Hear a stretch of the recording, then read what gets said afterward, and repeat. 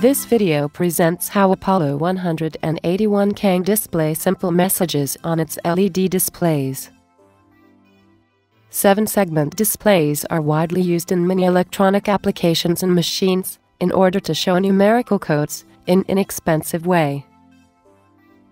What is less known and uncommon is that also words and short phrases can be easily displayed by any seven-segment display.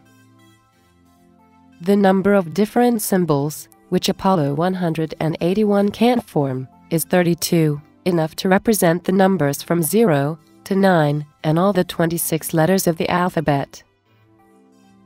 Some displayed characters don't look like the real ones and are almost illegible. The most difficult letters to be recreated by a seven-segment display are the K, M, T, V, W, and X. This because the diagonal and vertical middle segments are missing.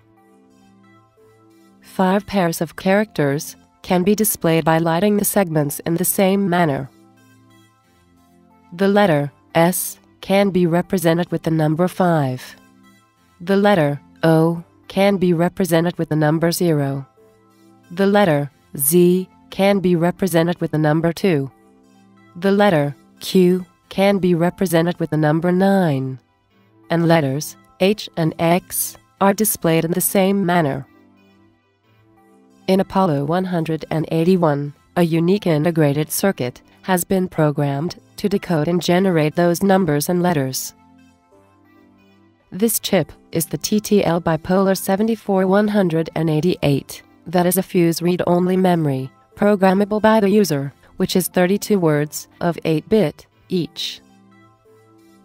Seven of the eight outputs are used to turn on the segments according to the graphic pattern of the 32 symbols.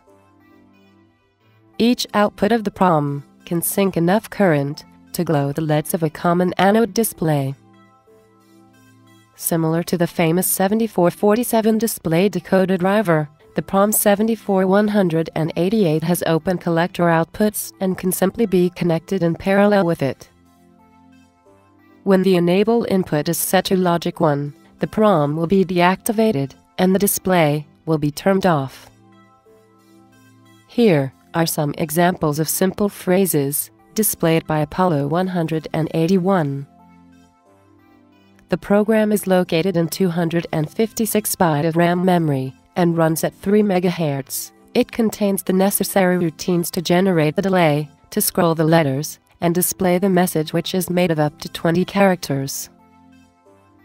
Now, have you been able to read the displayed texts and understand each of them?